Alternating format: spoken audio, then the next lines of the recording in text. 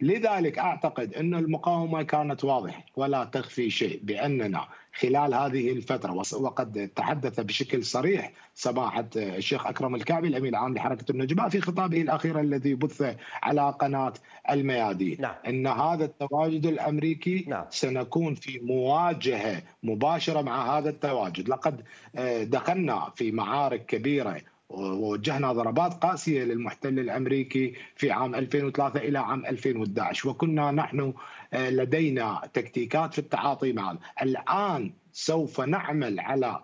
أيضا إذا ما التزمت بالتالي إحنا ندافع عن دستورية آه، وقوانين العراق التي تمنع آه، تواجد أي قواعد أمريكية أو طيب. اي قواعد أجنبية على العراق